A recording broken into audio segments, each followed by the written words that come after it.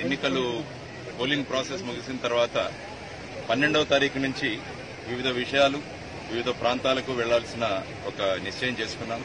అందుకనే పన్నెండవ తారీఖు ఉదయం హార్బర్కి వెళ్ళి మత్స్యకారుల్ని కలవడం జరిగింది. వాళ్ళ సమస్యల గురించి ఆల్మోస్ట్ ఒక రెండు గంటలు వివిధ సమస్యల గురించి వాళ్ళతో చర్చ ఆ తర్వాత అక్కడి పరిస్థితులు ఎలా మెరుగుపరచాలన్న ఒక దీంతో వెళ్ళాం. ఈ రోజు ఇక్కడికి రావడం జరిగింది మన బీచ్. ఎందుకంటే బీచ్ అన్నది మన విశాఖపట్నానికి ఒక ల్యాండ్ మార్క్ కాబట్టి చాలా మంది ఇక్కడికి వచ్చిన వాళ్ళు బీచ్కి వస్తారు. బీచ్కి వచ్చిన తర్వాత ఇక్కడ ఉన్న క్లీన్లీనెస్ ఎలా ఉందని చూస్తారు. దాన్ని బట్టి మన పట్టణం పట్ల అభిప్రాయం వాళ్ళు ఏర్పాటు చేసుకుంటారు. ఓహో విశాఖపట్నం కూడా ఇలాగైనా?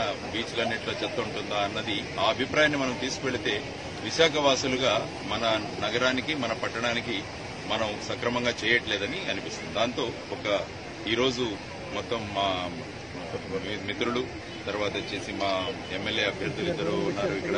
గిరిధర్ గారు తర్వాత వచ్చేసి ఉషా కిరణ్ గారు. ఇంకా ఎంతో మంది శ్రేయోభిలాషులు వీరంతా ఇక్కడికి వచ్చి ఈరోజు ఒక క్లీన్ చేస్తారు. ఇంకొక ఉద్దేశం ఏంటంటే జుహూ బీచ్ క్లీనింగ్ గ్రూప్ అని ఒకటి ఉంది బాంబే. వాళ్ళు ఏం చేశారంటే ఉన్న కాలేజెస్ని అందరినీ డివైడ్ చేసుకున్నారు. ఒక్కొక్క రోజు ఒక్కొక్క బ్యాచ్ వస్తుంది. సోమవారం ఈ బ్యాచ్. వాళ్ళు చేసి వెళ్ళిపోతారు. మంగళవారం ఒకటి. ఎందుకంటే వాళ్ళకు కూడా రోజు రావాల్సిన అవసరం లేదు. తర్వాత వాళ్ళ టర్న్ నెలకు ఒకసారి వస్తుంది. కాబట్టి ఏ రోజైతే వాళ్ళ టర్న్ ఉందో ఆ రోజు పెద్ద సంఖ్యలో వాళ్ళు వచ్చి మొత్తం క్లీన్ చేసి వెళ్ళిపోతారనమాట కాబట్టి అటువంటి కాన్సెప్ట్ను కూడా మనం విశాఖపట్నంలో తీసుకురావాలన్నది మా ఉద్దేశం.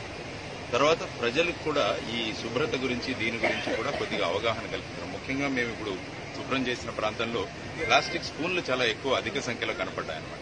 కాబట్టి ఈ ప్లాస్టిక్ స్పూన్లను ఏ విధంగా మనం అరికట్టాలి? ఇది ఎవరైతే అమ్ముతున్నారో వాళ్ళకు తర్వాత ఇక్కడ వచ్చిన పర్యాటకులకు కూడా దీని గురించి అవగాహన కల్పించాలి. ఎందుకంటే ప్లాస్టిక్ అన్నది ఒక మహాభూతంలాగా మనకు తయారైంది. దీన్ని అరికట్టకపోతే భావితరాలకు చాలా ఇబ్బందులు ఎదురయ్యే సమస్య. మన ఏదైతే క్యాన్సర్ పెరుగుతోందో ఇవన్నీ కూడా వీటి గురించి అవగాహన కల్పిస్తూ మన పరిసరాలను ఎలా స్వచ్ఛంగా ఉంచాలి. ఎందుకంటే పరిసరం స్వచ్ఛంగా ఉంటే మన ఆరోగ్యం బాగుంటుంది. ఆరోగ్యం బాగుంటే ఆలోచనలు బాగుంటాయి. ఆలోచనలు బాగుంటే ఆశయాలు బాగుంటాయి.